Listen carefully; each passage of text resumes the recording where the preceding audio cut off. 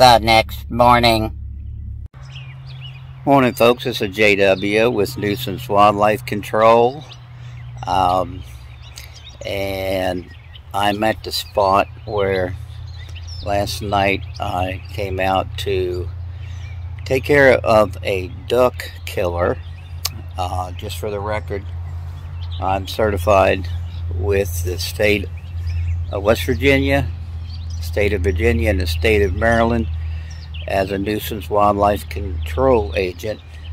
Anytime that wildlife is preying on livestock, um, I'm licensed to come in and take care of the offending animal.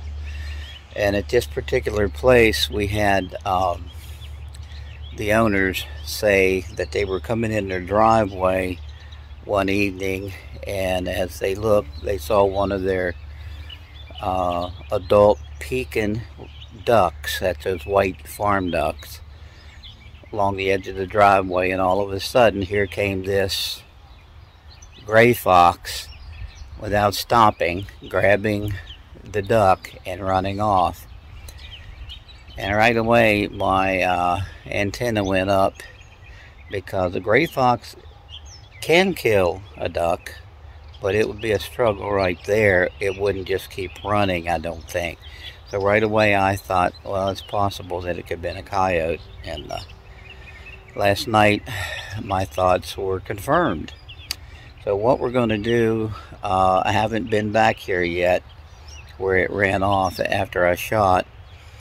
And I um, reviewed the shot on video here. I had the Pulsar Thermion 2 XP50 scope.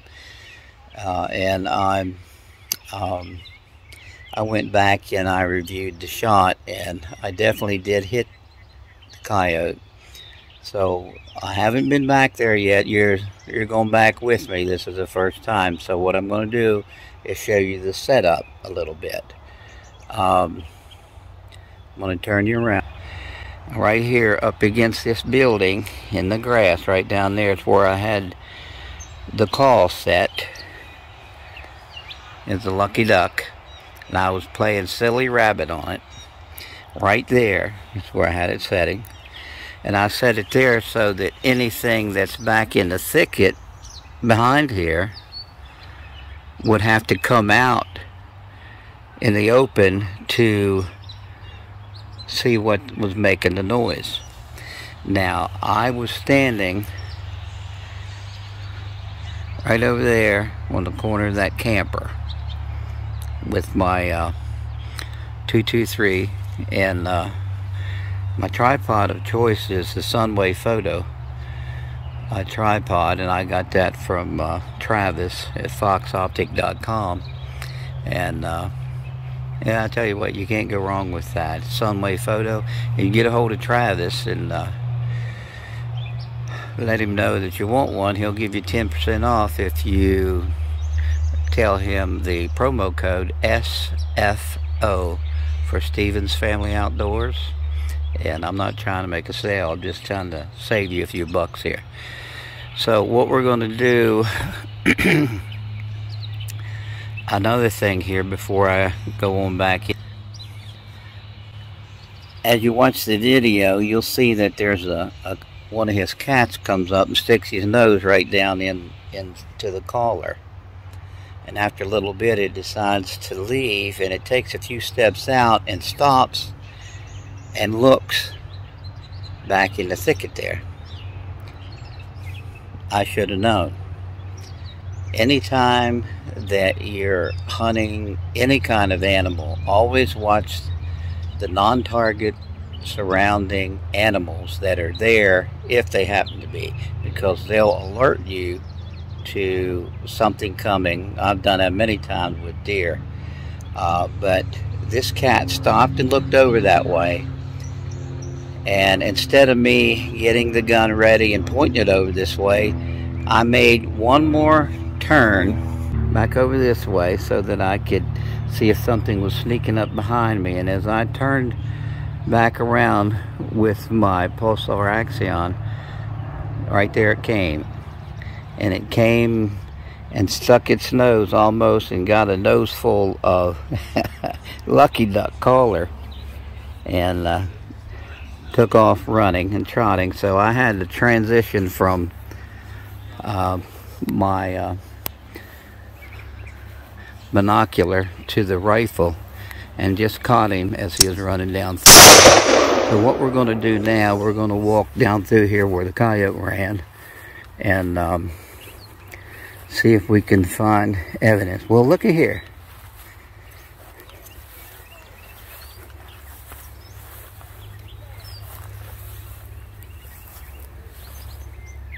I don't know if you can see that, but there's all kind of hair right here.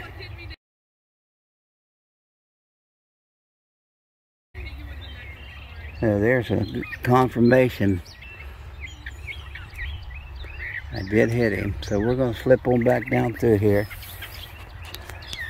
See if it might be laying down here. It's pretty thick as you can see.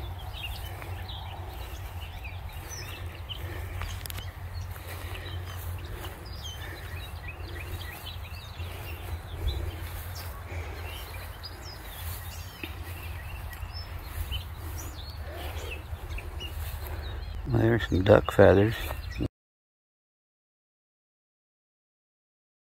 We brought the duck back.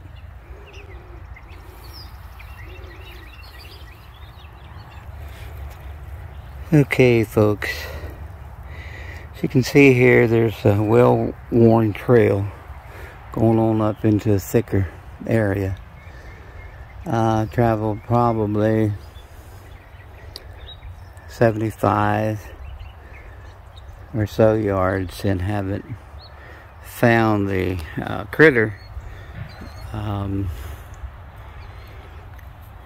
but we did find that big wad of hair.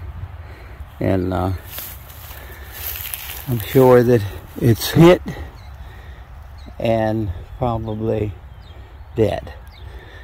Uh, but anyway, we're going to go ahead, circle back, and if if I would happen to stumble upon it, I'll get back with you. Other than that, this is J.W. Stevens signing off.